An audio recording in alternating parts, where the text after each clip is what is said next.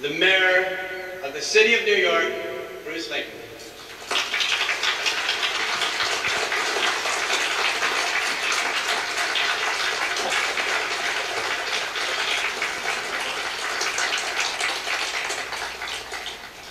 I speak to all of you who have chosen to stay here.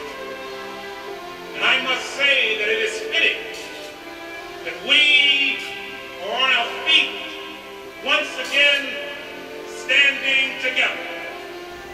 We stand side by side, we built brick by brick the greatest city in the world. Much will never be replaced. There's an empty spot in everyone's heart for all those who can never be seen, felt, held close. Never again.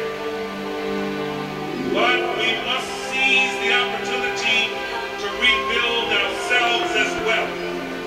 For we can lay a new and unshakable foundation only in our hearts.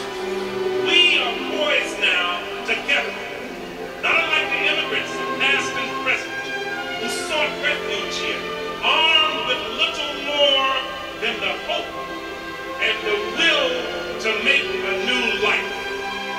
And make a new life we will.